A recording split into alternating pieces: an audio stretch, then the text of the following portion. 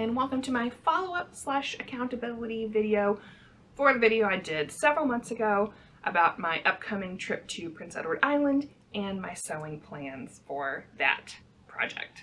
If you haven't already watched that video, it's probably a good idea to go check it out just if you want to know what in the heck I'm talking about because I'm not really going to go over so much what I planned, but I'm also just going to talk about what I wore in Prince Edward Island, so if you just want to see costumes, continue watching. Now, if you're interested in more of an overview of this trip and just some pretty scenery and costumes and what other people are wearing, then you can watch that right here. It's already done and up on my channel. And I'm also planning a more in-depth video that's like kind of a Q&A about what we did on our trip and how we planned it and how we decided what to do.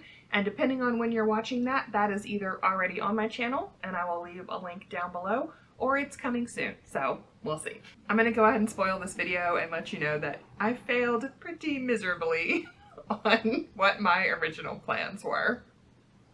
I had three big projects plus one stretch goal, without kidding, and a ton of accessories that I never even started, so you know, this is not going to be a list of the 10 things that I made for my trip to Prince Edward Island, but we'll just continue on with that. And I do have two really good excuses for why I was not as uh, productive as I might have otherwise been. The first one is that we moved this summer. So back in March when I was planning out my sewing for the next few months, I did not know that we were going to be moving, but circumstances coalesced in our favor and we ended up moving out of our house. Um, so I happily did not have to move my studio, thank goodness, that would have been total chaos. Um, but we are living in a new place now. So, you know, that kind of threw me for a loop in June when we had a surprise move. And the second excuse is for a much more fun reason, and that is that I went to Europe for two weeks. Ah, I mean, right? I also was not expecting to go on that trip uh, when I made my original plans, but when I got invited, I absolutely could not resist the opportunity to spend two weeks in France and Germany all ending in an amazing 1790s three-day house party and an honest-to-God French chateau. It was amazing and what a great excuse, right? and I also made a secret project because of that trip, which I haven't talked about at all and has not been published yet, but it will be coming. Uh, I just couldn't resist it. You'll see when I release it, like why I just had to do it. Um, but so that did take some of my sewing time as well, and I have I have no regrets about it. But I do think those are two pretty good reasons why I uh, I didn't get through everything on my list. So let's start down this list of things that I made and what I said I was going to do and what I finished. And the first one was my aesthetic dress and my mock-up, um, which I did finish both of those, and I have a whole video about it right here. I'm super happy with these two. I love them very much. I wore them both in Prince Edward Island in fact, I wore the blue linen one three times because I loved it so much and it was like the best, most comfortable, uh, easy to wear thing and I didn't have to have a corset. So when we went to tea, I could just stuff myself full and it was fantastic. So those two were absolute resounding successes in my costuming that I did. The black and gold version was also great just for walking around the house and picking apples and we had a fun day just sort of meandering around the grounds, getting to wear that dress. It was really great. And I'm especially proud of these two because I had no pattern to work with and I made it all up and they're as excellent as I could have ever imagined. And they were great additions to my Prince Edward Island wardrobe because they were so casual and beachy and easy to wear. And they just ended up being everything that I hoped that they would be. So yay, check and check. The second item on my list was uh, this blue shirtwaist, which I had to make the blue skirt that I made last year. I do have a making of the blue skirt here on my channel and I might make a making of the blue shirtwaist. I did film it, but I actually haven't looked at the footage at all, so I have no idea if it's any good or if I have enough to make a video, so we'll see. I don't know. But I did finish it, and I wore it on a lovely carriage ride. Ooh, that was so much fun. A carriage ride in Prince Edward Island by a guy who told us his name was Matthew. So it was Matthew's carriage ride, and we went past the honest-to-goodness Lake of Shining Waters, like the real one that L.M. Montgomery looked at out of her aunt and uncle's house and wrote about, so that was super cool. And then we went to this beautiful lighthouse overlooking these glorious red cliffs and it was just so picturesque. And that outfit was everything I wanted to be because it was flowy and casual, but it was still pretty and it just was. Mm. And of course, the great thing about it is that it's a shirt and a skirt. So while they look like they're a dress when you wear them together, it's actually two separate pieces, which means I can easily mix and match these with other parts of my wardrobe and I get two new outfits out of it. So I I just love Edwardian separates. It's such a lovely part of costuming. Next up was supposed to be my easy project for this whole thing, which was the beaded overlay for my Edwardian evening gown. I made this dress years ago. It was already all done and I was just gonna slap on this beaded net layer and it was just gonna gussy it up and be really pretty. And oh my God, this sucked so bad. It was horrible. one of my least favorite sewing things I think I've ever done. It was just terrible. I had this on my schedule to be finished by May 11th. May 11th! And I was sewing this dress up until like two days before I left for this trip, like at the beginning of September. It was awful. This netting is really hard to sew with. I couldn't just cheat and just like make a skirt to throw over it, but because of the way that this is actually cut, I had to cut out like big shapes and sew them down. I had to end up remaking the entire bodice because the style of the bodice I had before didn't work with the overlay. So that was like a whole thing of like fitting and mocking up a new Edwardian bodice. And look, I'm really happy with the results. Like, I think it's gorgeous. It was very dramatic and glorious to wear, but ugh, it was, it was a lot harder than I had realized. And frankly, I should have just worn it as a pink dress. It was still really pretty. and I don't think it was necessarily worth the like work to thrill ratio. I mean, again, we wore evening gowns at Dalvay by the Sea, which is the hotel that was in the Anne of Green Gables movie as the White Sands Hotel. So it was really amazing to like be there in that location. We had a lovely and delicious dinner. The place was beautiful and we all looked amazing. And so, you know, it was very fun to wear this. Uh, one thing I will say is that with all this beading, it is so heavy it weighs a ton. Not only was it absolutely exhausting to wear because just dragging this around, it was already heavy before with the amount of silk satin that's in it and there's like a lot of structure underneath, but then just adding all this beading was like, oh my god. I literally needed somebody to walk behind me and like carry my train for me. But it also ended up being so heavy. It also ended up being so heavy that I had to finish the skirt early and give it to Jenny Rose to drive up because it weighs so much that like it would have like like gone over the weight limit on my suitcase. So this is a special princess.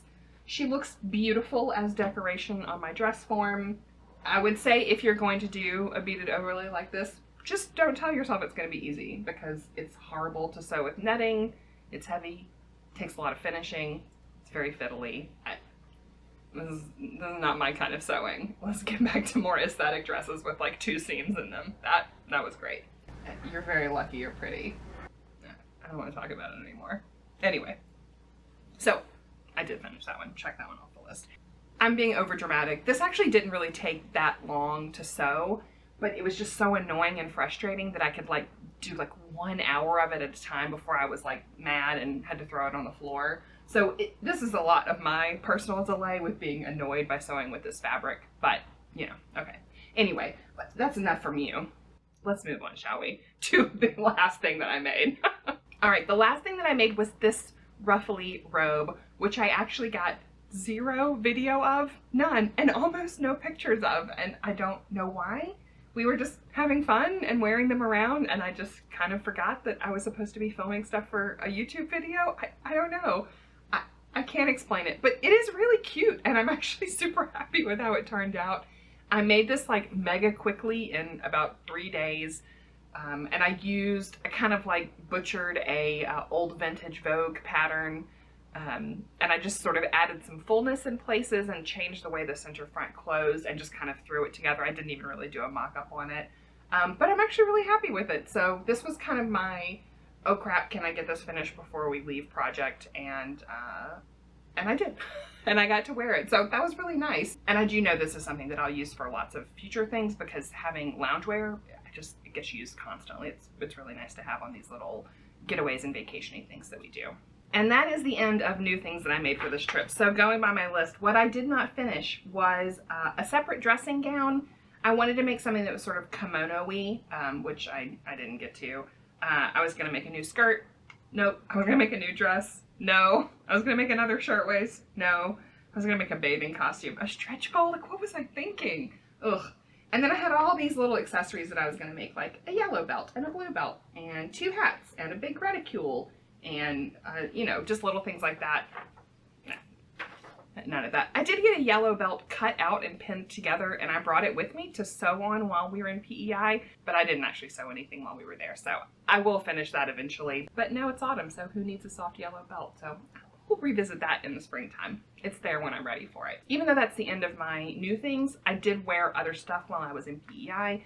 The first thing is I did wear my White Sands dress again. This is like the centerpiece of the whole trip. Like we knew that we all wanted to make these fluffy dresses that we called White Sands after the White Sands Hotel in Anne of Green Gables where Anne and Diana wear their fluffy white dresses to the poetry reading. And we just loved that whole aesthetic. So we did that. We actually booked a professional photographer for this, which was a fantastic experience and she was just able to capture everything we had in our head with the vision of us being together and walking on the red sand beaches of PEI in the sunset. It was great.